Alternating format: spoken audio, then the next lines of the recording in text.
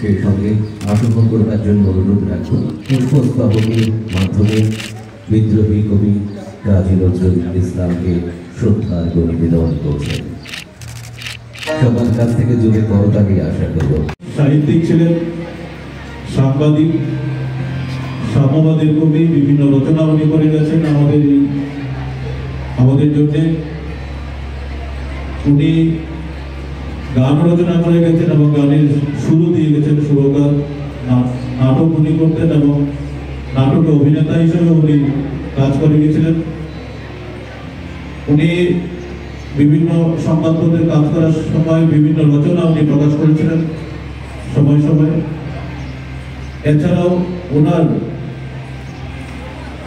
পত্রিকাও প্রকাশিত হয়েছিল এবং সেই পত্রিকার মাধ্যমে টাইম টু টাইম বিভিন্ন রচনাগুলি উনি প্রকাশিত করেছিলেন।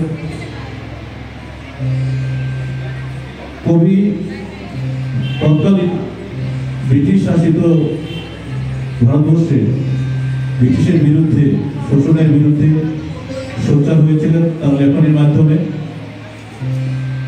এছাড়াও জনগণকে উদ্বুদ্ধ করার জন্য ব্রিটিশ শাসনের বিরুদ্ধে ওনার যে রচনা, সেটা তখন প্রতিফলিত হয়েছিল। এছাড়াও সাম্যবাদের কবিতা উনি লিখে গেছেন, সাম্যবাদের রচনা উনি করে গেছেন। উনি বিদ্রোহ ঘোষণা করেছিলেন ব্রিটিশ শাসনের বিরুদ্ধে। যেখানেই উনি অন্যায় দেখেছেন, তার প্রতিবাদ উনি জানাতেন। ফলে ওনাকে ওনার কর্মজীবনে বিভিন্নভাবে সাজাপ্রাপ্ত হয়েছিল ব্রিটিশ ব্রিটিশ কর্মকর্তারা কাবি নজরুল ইসলামকে জেল হাজতে করেছিলেন ওনার যে কবিতা প্রকাশিত হয়েছিল, বেশ কয়েকটি কবিতা সেই সময় বাজেয়াপ্ত করা হয়েছিল। ওনার বেশ কয়েকটি রচনাবলীও বাজেয়াপ্ত করা হয়েছিল। যাই হোক, এই কবি ওনার উনিশশো বিয়াল্লিশ সালে রোগগ্রস্ত হয়েছিলেন সরস্বতী হারিয়ে দিয়েছিলেন ওনার, ওনাকে চিকিৎসার জন্য লন্ডনে নিয়ে যাওয়া হয়েছিল। ভিয়েনাতে নেওয়া হয়েছিল। কিন্তু কবি সেখানে ওনার মস্তিষ্কজনিত রোগে ভুগছিলেন, না সরস্বতী ছিল, না ওনার বাক শক্তি ছিল।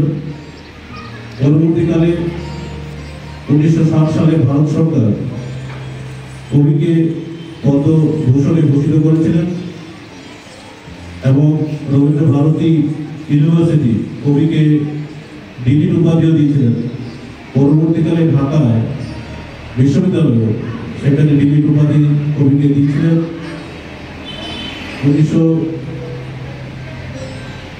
পঁচাত্তর বা ছিয়াত্তরের দিকে বাংলাদেশ সরকার ওনাকে জাতীয় কবিতা কবি হিসাবে ঘোষিত করেছিলেন। ওনাকে বাসস্থানের ব্যবস্থা করে দেওয়া হয়েছিল। পরবর্তীকালে উনি মাত্র সাতাত্তর বছরে মারা যান। কিন্তু ওনার যে রচনাগুলি অক্ষয় হয়ে থাকবে দেশ ভাব হয়ে গেছে কিন্তু ওনার যে রচনা রয়েছে, সেই রচনা দুই দেশের মধ্যেই সমভাবে সমাদৃত, সমভাবে গ্রহণযোগ্য এবং এই বিষয়টিকে মাথায় রেখেই আজকে আমরা কবি প্রণামের ব্যবস্থা করেছি। কবিকে কবি রচনা দিয়েই যদি আমরা ওনাকে স্মরণ করি, তাহলে আরও বেশি ভালো হয়। তাই আপনাদের সম্মুখে আমি এক দুটি লেখা খুব সেন্টিমেন্টাল গান উনি উনি ওনার জীবনে যখন গুরুকে হারিয়েছিলেন, এই কবিতাগুলি উনি লিখতেন এবং রচনা করেছিলেন। আমার মনে হয় সেই দিক দিয়ে চিন্তা করে আমি দুটি গান আপনাদের সামনে উপস্থাপনা করব।